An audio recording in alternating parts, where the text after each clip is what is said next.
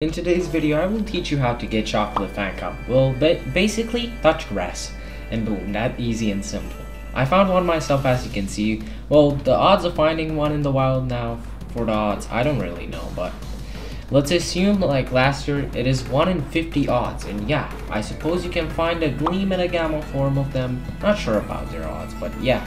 Yeah guys, that's everything for today's video. I won't keep you for long. Make sure to like and subscribe, and I'll see you in the next one.